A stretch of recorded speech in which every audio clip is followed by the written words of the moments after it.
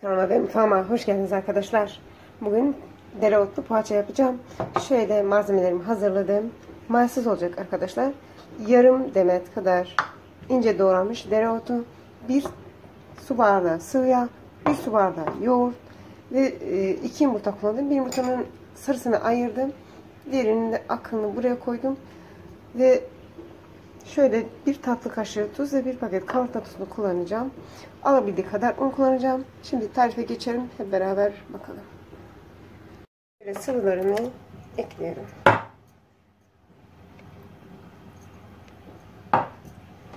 Sütümü, şey pardon yoğurt, sıvı yağ ve yumurtamı ekliyorum.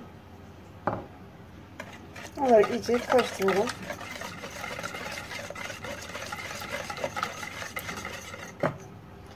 Dereotumu da ekliyorum. İsterseniz içine peynir, kaşar da koyabilirsiniz. Direkt hamur içine de koyabilirsiniz. Poğaçanın içine de koyabilirsiniz. Bu şekilde iyice karıştırıyoruz. Kullanacağız arkadaşlar. Aynı bardakla, şöyle bir bardakla başlayalım. Bir bardak unu koydum. Ardından tuz ile karta tuzunu da koyuyorum. Karıştırıyorum. Burada şöyle bir kaşık da sirke koyuyorum. Sirke kıyır kıyır olmasını sağlıyor. Üçüncü bardak. Şimdi biraz karıştıracağız. Unu ona göre ayarlayacağız. Daha un istiyor. Dördüncü bardağı yarısını koyuyorum. Karıştırıyorum. Gerektiğinde onu da koyacağız. Şöyle kıvamı güzel bu şekilde yeterli. 4 bardak aldı arkadaşlar. 4 bardak un aldı. Siz gene de ölçülü ve dikkatli kullanın. Çünkü un fark edebiliyor. Ondan ona değişiyor. Evet arkadaşlar kıvamı şöyle. Gayet güzel, yumuşak.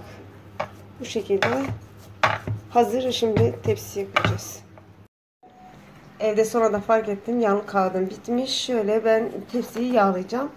Siz tabii ki varsa yağlı kağıt koyun. O şekilde yapın. Ben böyle biraz içine e, kaşar koyacağım bazılarını. Kaşarlı yapmak istiyorum ve kaşarını rendelemedim. Şöyle dilim dilim yaptım. Bol bol koymak istiyorum. Bir mandalina kadar elimize alıyoruz arkadaşlar. Dediğim gibi siz isterseniz içine peynir de koyabilirsiniz. Şöyle parça kaşar koyabilirsiniz. Çocuklar seviyorsa tabii ki. Sade de olur tabii ki. Sade yapacaktım. Biraz kaşarlı yapmak istiyorum. Şu şekilde tepsiye diziyoruz.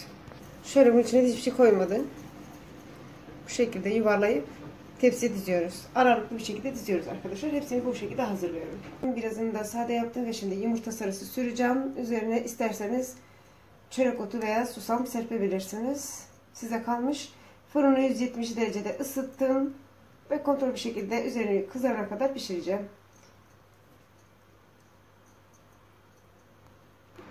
Evet arkadaşlar poğaçalarımız pişti ve gördüğünüz gibi çok güzel görünüyorlar.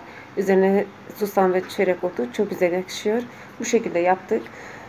Arkadaşlar eğer kanalıma abone değilseniz abone olmayı unutmayın. Beğendiyseniz videolarımı beğenmeyi unutmayın. Yorumlarınızı eksik etmezseniz çok sevinirim.